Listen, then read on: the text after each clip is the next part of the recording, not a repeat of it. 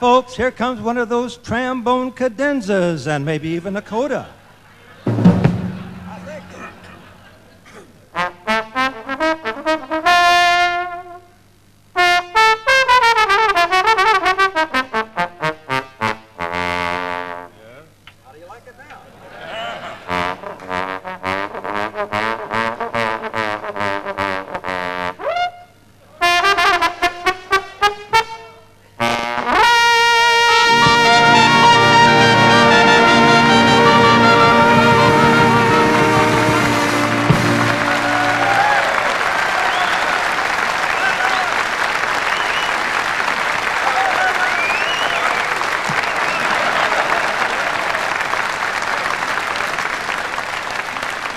Bob Havens, ladies and gentlemen.